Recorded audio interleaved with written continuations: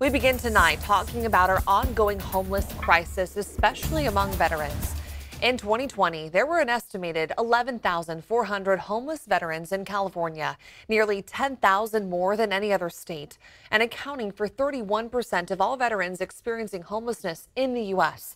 Veterans make up 6% of our population, but 8% of the homeless population.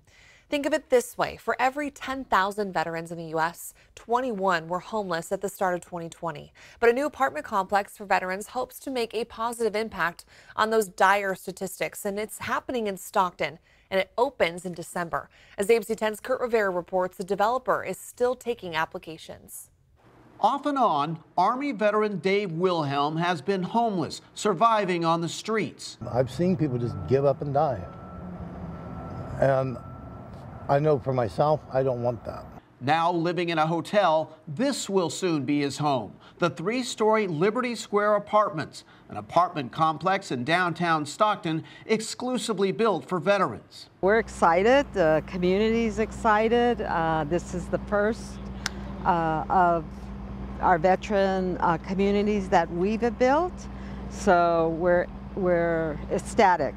An old office building built in the 1950s will become 74 affordable housing units. They are studio, one, two, and three bedroom units for single veterans and families earning 30% to 60% of the area median income. But getting to this point in the building process has not been easy, with all kinds of supply chain problems for all kinds of materials. Electrical parts, trying to get electrical parts out of uh, Southern California. We had to uh, get them shipped here over plane, overnighted, because they've been taking so long. The complex also features a computer lab, two community centers, as well as a daycare center and a large office space for social services. Dedicating a community to our veterans um, is what this community needed. And what's needed for veteran Dave Wilhelm, a place to call his own in the hopes it will help to turn his life around. I'm very excited. Um, it's a stepping stone. And Visionary Home Builders is now taking applications for veterans with families for the complex called Liberty Square. For more information, you can head on over to abc10.com slash links.